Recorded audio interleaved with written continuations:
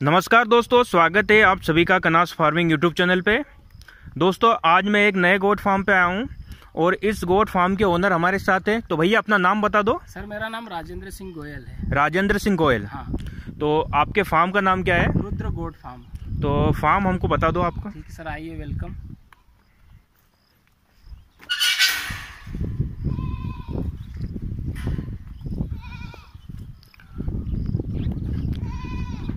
दोस्तों जैसे आप सामने देख रहे हो ये इनका बकरी फार्म है और ये जो आप खाली जगह देख रहे हो यहाँ पे ये ओपनिंग पोर्शन है। तो ये बकरियों के लिए ओपनिंग पोर्शन कितना स्क्वायर फीट अपना? सर ये साढ़े छः हज़ार स्क्वायर फीट के करीब है मतलब। साढ़े छः हज़ार स्क्वायर। फीट है। तो चलो फार्म दिखा दो आपका। ठीक है आइए सर।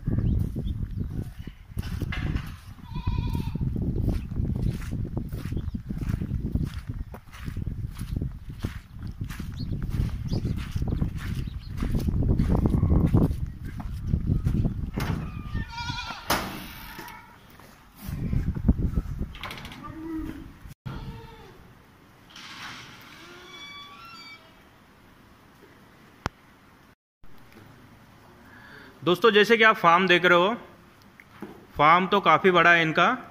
कितने स्क्वायर फीट है भैया ये? ये सर पूरा तो चौबीस सौ स्क्वायर फीट है। 2400 स्क्वायर फीट। हाँ और एक एक सेक्शन है चार सौ अस्सी स्क्वायर फीट के करीब है। 480 स्क्वायर फीट सर इसमें इस सेक्शन में हमने बक, मतलब बकरे रखे हैं इसमें। सिरोही के और अपने मालवा गोट के बकरे हैं मतलब मालवा ब्रीड के। तो सभी बकरे हैं? हाँ सभी बकरे हैं इसमें और एक आध बकरी होगी इसे इसे एक बकरी यहाँ पे आ गई है। अच्छा। बाकी सारे बकरे हैं यहाँ पे। तो मिक्स ब्रीड भी इसमें? हाँ सर मिक्स ब्रीड भी इसमें क्रॉस ब्रीडिंग में भी आपको मिल जाएगा यहाँ पे क्रॉस ब्रीडिंग में भी माल है यहाँ पे कुछ। कौन कौन सी नस्ल के? एक सिरोही में और तोतापुरी मतलब तोतापुरी क्रॉस भी है यहाँ पे कुछ बच्चे हैं इसमें। अच्छा तोतापुरी और हाँ सिरोही के। क्रॉस है इसमें। मालवा? मालवा भी है सर इसमें करीबन दस एक बच्चे मालवा के भी हैं। अच्छा तो टोटल कितने बच्चे अपने पास? टोटल सर इसमें पचपन बच्चों के करीबन है यहाँ पे। पूरे बकरे हाँ पूरे बकरे बकरे। अच्छा तो इस सेक्शन में आप बकरे रखते हैं? हाँ इस सेक्शन में हम बकरे रखते हैं। अच्छा दूसरा सेक्शन जैसे मैं देख रहा हूँ तो ये सेक्शन काय का है? सर ये बकरियों का सेक्शन है अपने अपने देसी मालवा बकरियों का सेक्शन है इनको हमने अलग ही रखते हैं इसको। अच्छा तो पूरी प्रेग्नेंट बकरी हाँ पूरी प्रेग्नेंट बकरी है चार से साढ़े चार महीने के करीबन इनको है मतलब प्रेग्नेंट ही। अच्छा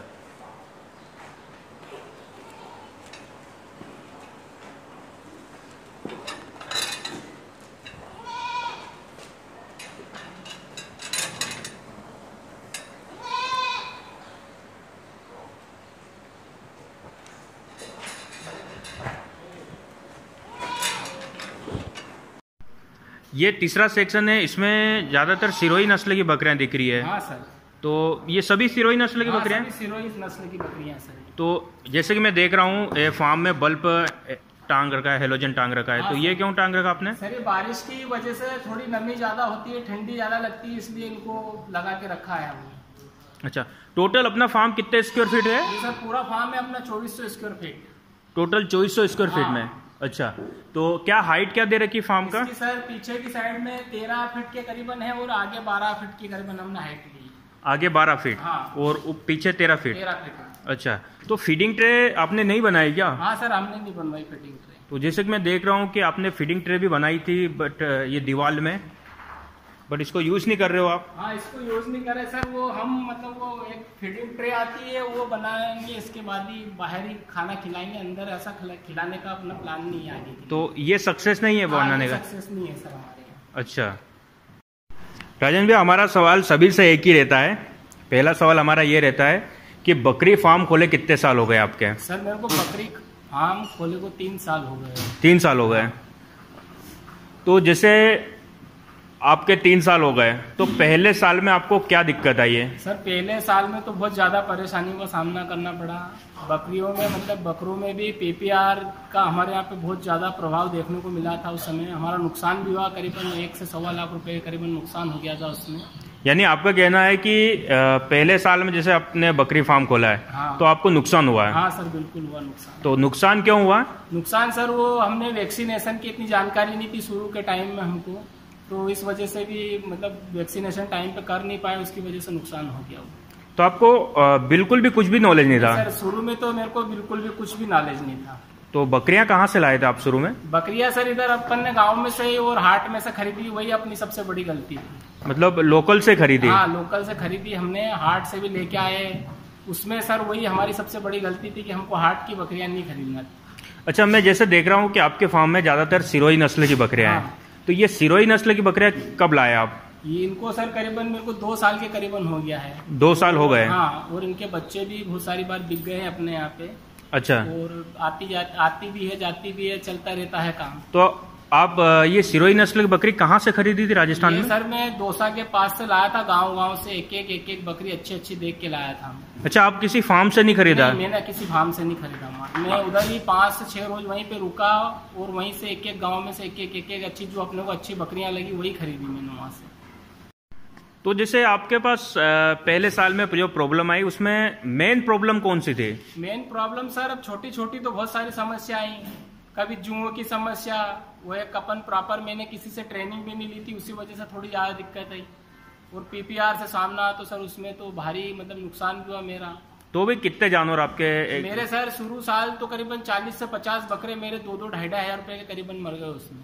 तो कितने से शुरुआत करी थी आपने? सर मैंने यही कोई 25-30 लाख से स्टार्ट किया था उसको बढ़ाते बढ़ाते लेने के बाद में बस वही दिक्कत आई उसकी वजह से ज़्यादा नुकसान हो गया। 25 से स्टार्ट किया हाँ था। पच्चीस से स्टार्ट किया था। तो 25 के 25 पूरे खत्म हो गए? हाँ उसके शुरू वाला लाट तो सर पूरा ही खत्म हो गया मेरा। अच्छा तो ऐसे जैसे कि पूरा खत्म हो गया आपका पूरा नुकसान हुआ तो फार्म तो बंद कर देना चाहिए था? सर बंद नहीं किया। अगर बंद कर देते तो फिर लोग भी हँसते और अपने मैं तो उस मतलब वही चीज़ मैं भी देखना चाह रहा था कि आखिर ऐसा क्यों हुआ? उस गलती को हमने आगे रह के मतलब सुधारा और प्रॉपर अपन ने वैक्सीनेशन पे काम किया फिर। कि कहीं से भी अगर बकरियाँ भी लेके आए तो उनको हमने पूरी तरह वैक्सीनेशन करके कंप्लीट किया। तो अभी अपने फार्म में कितनी बकरियाँ हैं? अभी सर यहाँ पे 140 के करीबन है टोटल 140 हाँ। है ना? उसमें से बकरे कितने टोटल बकरे बकरे कितने हैं? अपने पास 55 के करीबन है इसमें 50 से 55 बकरे। हाँ, क्या एज है सब बकरों? इनका ये सर दो महीने से छह महीने के करीबन है। और कुछ बच्चे भी है जैसे एक महीने वाले बच्चे भी जो सिरोही के अभी हुए एक महीने के बच्चे भी है इसमें कुछ चार पाँच एक। राजन भैया बकरियों को खाने में क्या देते हो आप? सर इनको खाने में हम जैसे सुबह मॉर्निंग में करीबन आठ एक बजे के करीबन एक हमारा मिक्स दाना बनता है जो हम घर पे ही बनाते हैं उसमें सारी मतलब विटामिन की जो भी कमियाँ रहती है उस टाइप का दाना हम इनको सुबह में करीबन 400 ग्राम प्रति बकरी के हिसाब से डालते हैं हम सुबह के टाइम में मॉर्निंग में। कितनी बजे? मॉर्निंग में आठ बजे के करीब हाँ, तो दिन में कितनी बार देते हो खाना? दिन में सर मेरा तो ऐसा है मतलब जैसे अलग अलग बकरी फार्म का अलग अलग विषय रहता है उनका क्या रहता है अपना अलग है। मैं सुबह आठ बजे के बाद में बकरियों को ग्यारह बजे तक खिलाता हूँ यहाँ पे। तो खाने में क्या भूसा देते हो? सर ये अपने चने का भूसा है और मसूर का भूसा है। अच्छा तो हरे चारे में? नहीं सर अभी बारिश में मैंने हरा चारा देना बंद कर दिया। तो बारिश में बिल्कुल भी हरा चारा नहीं देते नहीं देता हूँ सर मैं बारिश में। उसका कारण? उसका कारण सर ये है कि एक चारा मतलब क्या ठंडा लगता है इनको ज़्यादा और दस्त की बहुत ज़्यादा प्रॉब्लम चारे की वजह से आती है बकरियों में। यानी आपने के टाइम में। खिलाया है हरा हाँ, चारा खिलाया भी है सर पर उसका रिज़ल्ट कुछ अच्छा नहीं रहा इसलिए मैंने उसको बंद कर दिया। अच्छा तो जैसे दूसरे सीज़न में तो जैसे हाँ, अभी सर दूसरे सीज़न में गर्मियों के टाइम में मैं देता हूँ। गर्मी में हाँ, देते हो? मक्का की कुटी बना के इनको खिलाता हूँ। तो जैसे आपके पास अभी एवरेज डेढ़ सौ बच्चे हैं हाँ। ठीक है?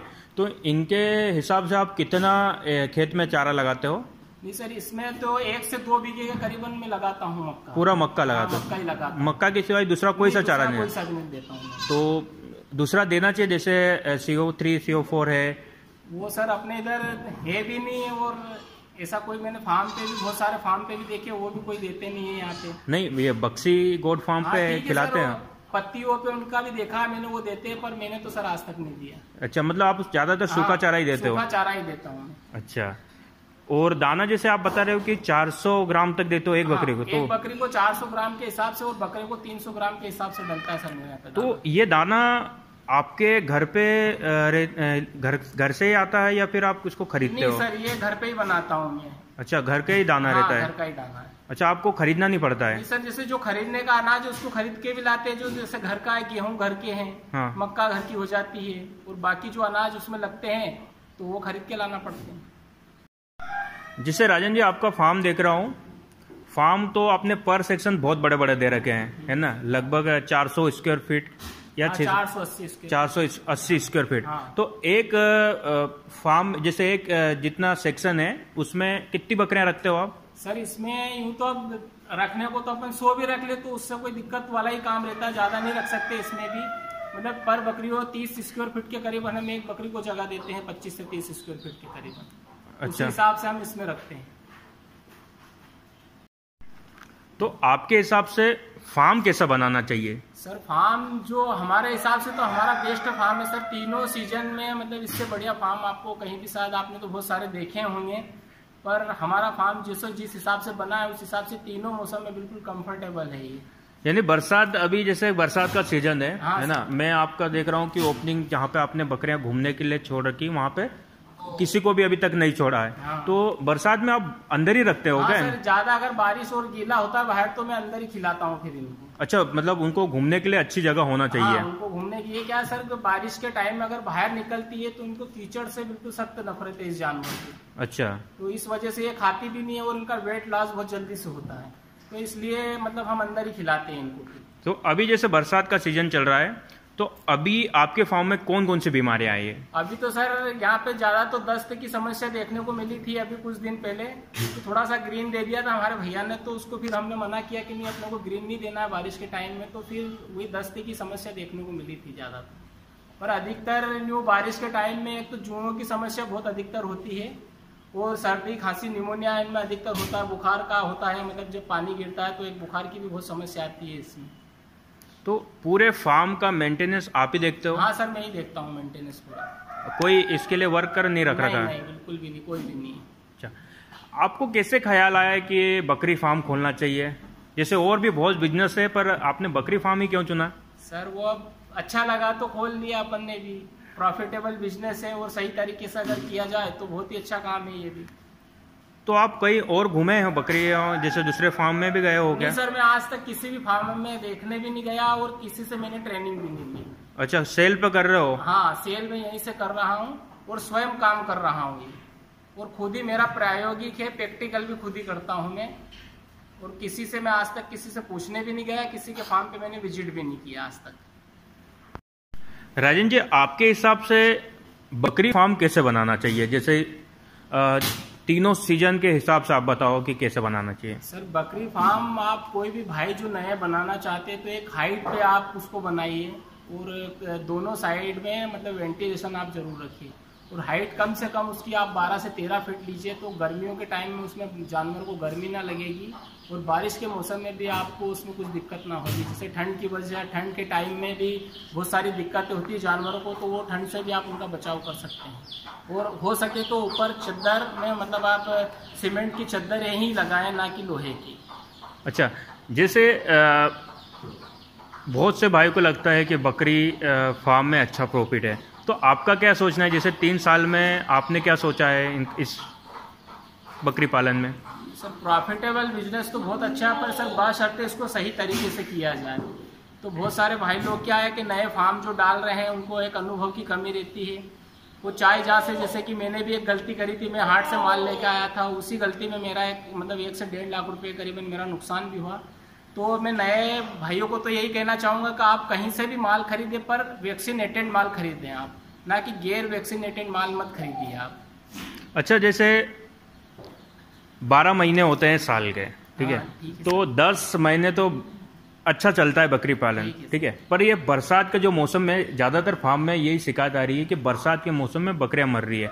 तो उसका कारण क्या है? आप क्या बताओगे कारण? सर उसके कारण तो बहुत हो सकते हैं। अधिकतर जो कारण बनते हैं सर एक निमोनिया का बहुत कारण बनता है बरसात के समय में। क्योंकि जो प्रॉपर मतलब करने वाला रहता है जिसको नॉलेज है वो तो सौ बकरियों में से भी एक बकरी को पहचान लेगा कि इसको ये तकलीफ़ है। बाकी जो नए हैं उनको वो चीज़ पहचान में नहीं आ पाती है। जैसे बकरियों को क्या है कि निमोनिया टाइप मतलब हो जाता है बारिश के टाइम में सर्दी खांसी निमोनिया होता है तो बहुत सारे जो नए बकरी पालक है उनको ये चीज़ें समझ में नहीं आती है। और वो देखते ही देखते मतलब बकरियाँ आज मान लो अपने को लगी कि आज खा रही है कल अपन ने देखा कि सूझते तीसरे दिन वो मर जाती है। उसमें मतलब समय ही नहीं मिल पाता है। निमोनिया में? निमोनिया में। अच्छा और बरसात में कौन कौन सी बीमारी आती है? बरसात में एक सर सबसे बड़ी दिक्कत जो हम मतलब बहुत सारे फार्म वाले उस चीज़ को नए ध्यान नहीं दे पाते वो एक जुओं की बहुत बड़ी समस्या है। अच्छा। जुए क्या हमको भी नहीं दिखती है और वो उनका काम करती है। अच्छा। तो जो भी मतलब आप बारिश के पहले थोड़ा सा जुओं पे आप जो भी नए बकरी फार्म वाले हैं इनको बिल्कुल आप जुओं पे पहले सबसे पहले कंट्रोल करें।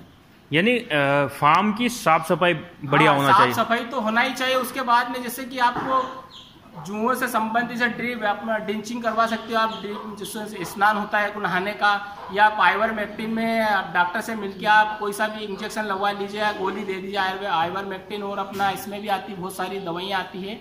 अगर आप मान लो डिपिंग नहीं करवा सकते हैं तो आइवर मैक्टिन की गोलियाँ दे दीजिए उनको। तो इससे वो दो से तीन महीने के लिए उनकी जुओं से आपको मुक्ति मिल जाएगी। राजन भी अगर कोई आपके फार्म को विज़िट करना चाहता है तो कर सकता है? अरे बिल्कुल कर सकते हैं सर आप। तो अपना एड्रेस बता दो। सर अपने गाँव का नाम कांकरिया बोडिया है और तहसील हाथोदे और जिला इंदौर। तो इंदौर से कितना किलोमीटर है अपना इंदौर से सर अपना 16 किलोमीटर है। सोलह किलोमीटर। हाँ। अच्छा। राजन जी काफ़ी अच्छा लगा आपसे बात करके है ना? आप हमारे चैनल के बारे में कुछ बता दीजिए। सर आपका चैनल तो मैं हर प्रोग्राम आपके चैनल नहीं सच बोलना आप देखते हो या नहीं नहीं? सर मैं बिल्कुल देखता हूँ आपका एक एक वीडियो देखा है मैंने चाहे वो अविनाश जी देवड़ा जी का वीडियो हो या अभी आपने एक धार साइड का भी बनाया था आपने चावला गोट फार्म का भी बनाया था या आसपास के जितने भी आप वीडियो बख्शी जी का भी आपने वीडियो बनाया था मैं सभी वीडियो देखता हूँ। और आपका चैनल मेरे को बहुत अच्छा लगा। इसीलिए मैंने आपको भी फ़ोन किया था कि सर आप एक बार आइए और हमारे यहाँ का भी वीडियो बनाइए। चलो धन्यवाद